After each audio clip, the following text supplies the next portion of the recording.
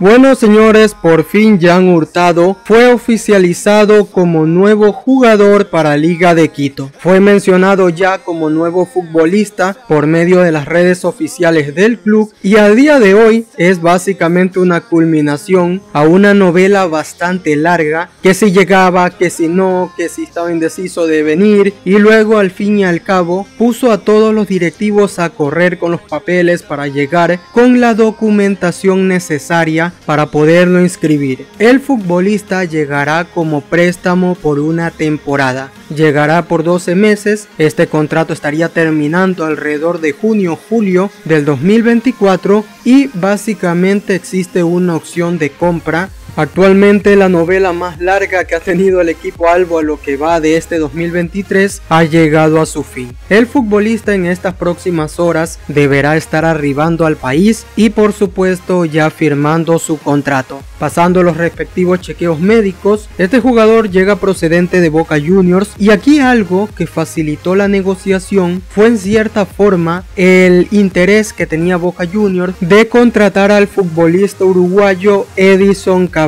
La llegada de Cavani en cierta forma ameritaba la salida de determinados futbolistas no solo para hacer caja sino para hacer espacio. Y es aquí donde Liga de Quito pudo ingresar con facilidad para poderse quedar con este futbolista. Luego de esto el futbolista tenía un poco de indecisión en cuanto a llegar al equipo ecuatoriano, vestir la camiseta de Liga de Quito, se esperaron algún interés por otro club a última hora, pero ese interés no llegó y de hecho en el caso de Liga de Quito hubo un momento en el que se afirmó que se esperaba al futbolista, hubo otra ocasión en el que directamente se lo descartó porque ya estaban cansados de esperarlo y a última hora se terminó oficializando su llegada. Prácticamente esto sucedido en estos últimos días. Es un futbolista que si bien es cierto viene ya con varias lesiones, viene con un problema, no ha tenido regularidad en Juniors a lo largo del primer semestre de esta temporada 2023, pero es un gran jugador y de llegar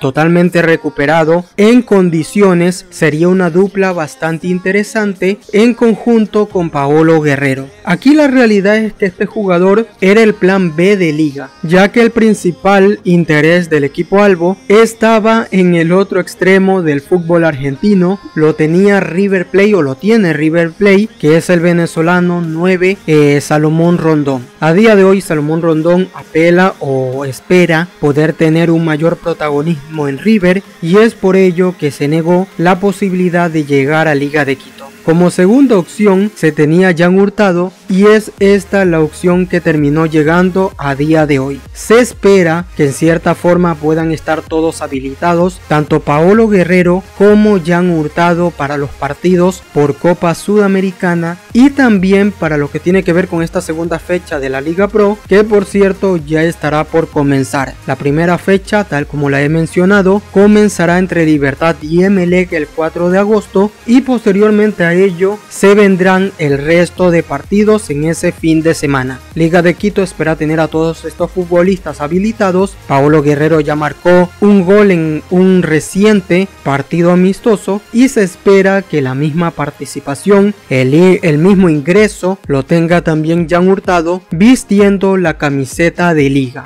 Actualmente es solo por una temporada con opción a extender por un año más, pero de momento nos enfocaremos en ver la presentación de este futbolista y también su participación a lo largo de este segundo semestre.